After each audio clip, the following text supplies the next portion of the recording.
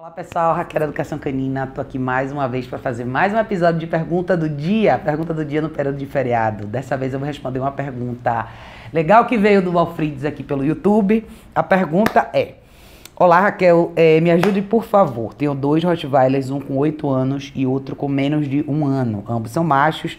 Sempre ficou claro pra gente que o mais velho era o líder e, é, e com certeza o mais educado. Agora ele começou a implicar com o mais novo e, por sua vez, não está deixando barato. O mais novo não está deixando barato. Nem preciso falar que dois Rottweilers brigando não é nada bonito de se ver. Porém, não sei mais o que fazer para cortar essas brigas. Poderia, poderia me dar alguma dica? Agora há pouco teve outra briga que quase não consegui separar. Desde já, muito obrigada. Valfrides, querido, obrigada por ter mandado a sua pergunta. Essa é uma pergunta super relevante e esse é um tema que, infelizmente, tem acontecido de forma muito comum. Ele deixou essa pergunta num dos vídeos que eu fiz em relação a brigas de cães da mesma casa, né? O que, que eu acho relevante a gente falar nesse cenário? E por que, que isso tem acontecido com tanta frequência, tá? Você tem aí dois cães, um mais velho de 8 anos de idade, que já está com você há bastante tempo, e você mesmo descreveu esse cachorro como um cachorro de personalidade mais forte e um cachorro bem educado. Então, esse já é um bom exemplo para vocês entenderem que um cachorro educado pode ter uma personalidade forte, mas quando a gente traz o segundo cachorro para dentro de casa, é muito importante que a gente saiba fazer o processo de introdução. E um erro que muita gente comete é: meu cão mais velho é tranquilo, ele é super educado, eu vou colocar os dois juntos. Isso é um grande erro e é um erro grave. Muitas vezes é a chave do porquê que a situação acaba chegando aonde chegou para você em particular, tá? Eu não sei o que, que aconteceu ao longo desse processo, mas eu posso supor que você provavelmente introduziu esses cães e você permitiu que a interação fosse talvez pouco ou não supervisionada e talvez faltou intervenção sua no momento certo, tá? Por que, que é difícil você fazer essa interação não supervisionada ou com tanta permissividade. Um cachorro mais velho está há anos-luz na fase de desenvolvimento e condicionamento de um filhote que acabou de chegar. É injusto a gente permitir que um cão mais velho seja totalmente responsável pela educação do seu filhote. E muitas vezes a gente não pensa que é isso que a gente está fazendo. A gente tenta ver o lado positivo da coisa, que é eu quero que eles se integrem, eu quero que eles vivam juntos, eu quero que eles se gostem. Mas a gente esquece que hábitos de filhote são extremamente frustrantes e estressantes para um cão mais velho. É como você querer que uma pessoa mais velha conviva com a criança de um ano de idade todos os dias tranquilamente, sem se irritar. Então, o problema, a diferença entre os seres humanos nessa hora e os animais é que nós intelectualizamos e nós criamos um convívio diferente, onde a gente meio que divide essa responsabilidade. Quando a gente fala de dois cães, a gente parte do princípio que só porque eles são dois animais, eles naturalmente vão se dar bem e isso é um erro grave, tá? Eu nunca aconselho colocar um filhote no convívio com cães mais velhos sem supervisão. Jamais, tá? Pra quem acompanha meu canal, vocês devem ter visto o período que a Matilde ficou lá em casa. Matilde é aquela filhote de Beagle que ficou comigo duas vezes. Eu tenho três cães adultos, meus três cães têm mais de oito anos.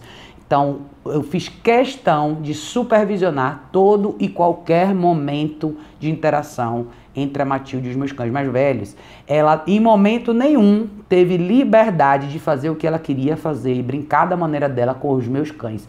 E muita gente não entende isso, acha que eu estou privando ela de um processo de socialização, mas na verdade não é. Eu estou zelando e advogando pelos cães mais velhos, porque eu sei que essa não foi uma escolha deles eu resolvi trazer ela para passar uma semana comigo, essa responsabilidade é minha. Eu sei que ela não tinha o grau de habilidade de condicionamento social que os meus cães mais velhos têm. Então, o que eu esperava dela ali é que ela focasse em mim e respondesse a minha orientação com ou sem os meus cães presentes. Jamais poderia ser a responsabilidade de nenhum cão mais velho educar ou ter que lidar com hábitos mais imaturos, é, e menos controlados do que os filhotes fazem. Então, filhote interage mordendo, pulando um em cima do outro, eles têm zero de noção de espaço, de respeito, de, de existência de forma geral, eles são extremamente invasivos. É uma fase difícil, eu falo em todos os meus vídeos. Eu fiz inclusive um vídeo recentemente falando sobre questão de filhote, num tom até bastante sério, não para desencorajar vocês a terem filhotes, mas para que vocês entendam com muita clareza o que é a real responsabilidade de criar um novo cachorro na fase de filhote. Então, Para você, eu acho que isso acabou escalando mais ainda, principalmente porque você já tinha um cachorro mais velho de personalidade forte, você tem dois cães de porte grande, dois cães fortes, e é exatamente o que você falou. Brigas entre cães assim são extremamente perigosas e muito difícil de interromper, tá? Então a minha dica para você é: comece do zero, tratando esse cachorro como se ele tivesse acabado de chegar na sua casa hoje. Primordialmente, ponto número um é separe, tenha, eu não sei se você mora em casa ou qual é o seu contexto, mas tenha dois espaços separados para esses cães, cada um no seu canil. Isso é primordial. Você vai ter que pegar o seu filhote e começar a trabalhar ele do zero. É muito importante esse filhote aprender. Primeiro a focar em você, entender você como líder da casa. Por mais que seu cachorro mais velho tenha uma personalidade forte, ele não é o líder da casa, você é o líder da casa. É você que comanda esse grupo que você acabou de inserir no seu contexto doméstico.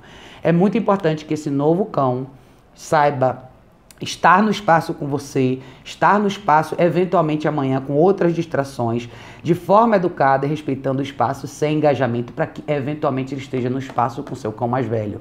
Muito provavelmente o seu cachorro mais velho só está pedindo espaço e respeito. Esse desafio que você descreveu como seu cão mais velho está começando a desafiar o mais novo, na verdade o seu cão mais velho chegou na, na, no limite de tolerância dele e agora ele entendeu que ninguém vai advogar por ele, logo ele vai ter que parar e vai ter que intervir para fazer esse filhote aprender.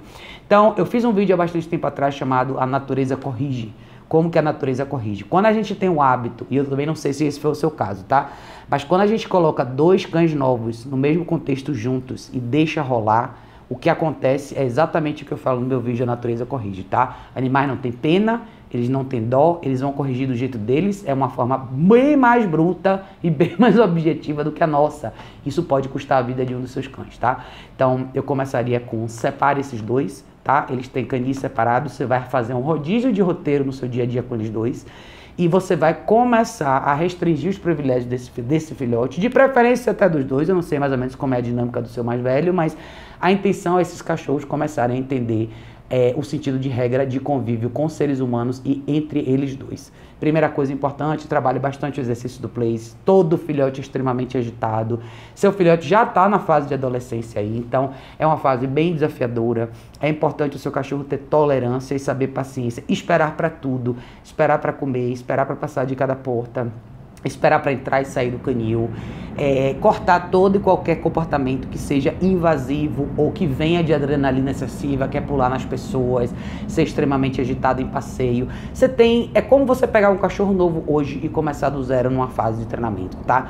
Eu não sei, você não me deu mais detalhes em relação a como você convive com esses cachorros, qual o espaço que eles dominam, eles estão dentro da sua casa, eles estão fora da sua casa, quais são os hábitos que você normalmente tem com essa dupla, você caminha com eles, o que, que você faz de atividade física e como essa atividade física funciona. É importante você saber usar a comida do dia a seu favor, a seu favor para você poder começar a condicionar bons comportamentos. E eu falo muito sobre isso em outros vídeos que eu tenho aqui. Mas eu acho que quando você está numa situação grave como você está agora, separe mas é separar totalmente. Esses cachorros não têm engajamento nenhum por enquanto, a, a, é, enquanto você está começando numa nova fase de direção. E eu começaria com os dois, tá? Independente do, da sua ligação ser maior com seu cão mais velho, o fato da coisa toda ter acontecido é importante você restabelecer, tá? Acho que algumas regras. Talvez o seu cão mais velho tenha ganho mais privilégios por merecimento, mas ele tem um novo cachorro na casa agora. E por mais que você tenha que advogar por ele, é importante você saber advogar pelo seu mais novo, não criando justificativas para os erros do seu mais novo, tá? Mas começando num processo de reeducação, onde o seu cão mais novo, se ele frequentar a sua casa por dentro, eu não sei se é o seu caso, mas o que, que ele faz quando ele está dentro da sua casa? Ele senta quieto enquanto do seu lado respeita o espaço de vocês ou ele está sempre circulando? Ele está sempre em cima das pessoas, ele pula nas pessoas, ele senta em cima de vocês, ele te dá espaço. Então, a forma como esse filhote aí se comporta com vocês vai te dizer muito sobre como ele se comporta com esse cão mais velho. E disputa de liderança dentro de casa nunca pode acontecer entre dois cães, tá? Isso aí é quando fica claro que a sua intervenção começa a perder o valor e o cachorro entende que ele tem que tomar para ele essa decisão de fazer essa disputa e ocupar esse lugar. O que, que eu acho que seria importante, como eu falei? Se é canil que você usa, use um para cada um, divida o seu dia e comece a trabalhar com um de cada vez. Se você não tem a menor ideia por onde começar, contrate um profissional e tenha uma ajuda presencial, tá? Vai ser muito importante você começar a apresentar para esses cachorros uma nova forma de convívio, menos afeto, menos permissividade, mais regras, mais disciplina e mais orientação, tá? Às vezes parece muito abstrato o que eu estou falando, mas na verdade é muito simples. É simplesmente uma questão da gente revisar o que que a gente faz com esses cachorros todos os dias. Eu falo direto uma frase aqui e vou falar de novo. O seu cachorro, ele é um reflexo do convívio que ele tem com você. Então, se, é, se tudo é permitido, provavelmente você não vai ser tão relevante, tá? Se você tem um hábito de controle maior, se o seu cachorro te respeita um pouco mais, isso nada tem a ver com violência e crueldade, isso tem a ver com o conceito real de educação. É isso que vai fazer a diferença, tá? Quanto mais relevante você for no lado disciplinar e de respeito, melhor vai ser o comportamento do seu cachorro na sua presença e na presença de qualquer outro cachorro, tá? Então, se você precisar de ajuda profissional, se quiser um, um, um, um atendimento, uma consulta comportamental, fique à vontade para entrar em contato comigo. Se você não estiver aqui em São Paulo, a gente pode fazer por Skype. Se você quiser contratar um outro profissional, chame ajuda, tá? Não espere a explosão acontecer. Não deixe eles dois juntos e quem sabe você vai tentar separar a briga. Não. É trabalhar controle de impulso com os dois, um de cada vez e um passo de cada vez nesse processo. Se prepare para uma etapa de reeducação, não só dos seus cachorros, mas sua também, tá? A última coisa que eu quero ver é uma notícia ruim em relação a essa dupla que você tem. Então, eu espero que tenha te ajudado um pouco, pelo menos a entender a raiz do problema. Muito provavelmente ao longo desses meses todos que esse filhote esteve com você, você deve ter presenciado ou não, talvez, muitos momentos onde o seu cachorro mais velho foi testado. E agora chegou a hora onde ele acabou o teste, agora ele vai por certas coisas em prática. Então, aproveite essa oportunidade para mudar tudo. Convívio, hábitos diários, tudo vai fazer toda a diferença para que esses cães evoluam um pouco mais, tá bom? Contato comigo, tem no meu site, você pode contratar, consultar por lá e se tiver dúvida, Deixa nos comentários desse vídeo aqui que vai ser um prazer ouvir de você e de todos vocês que tem essa situação por aí, tá bom, pessoal? Beijo enorme, a gente se vê em breve no próximo vídeo.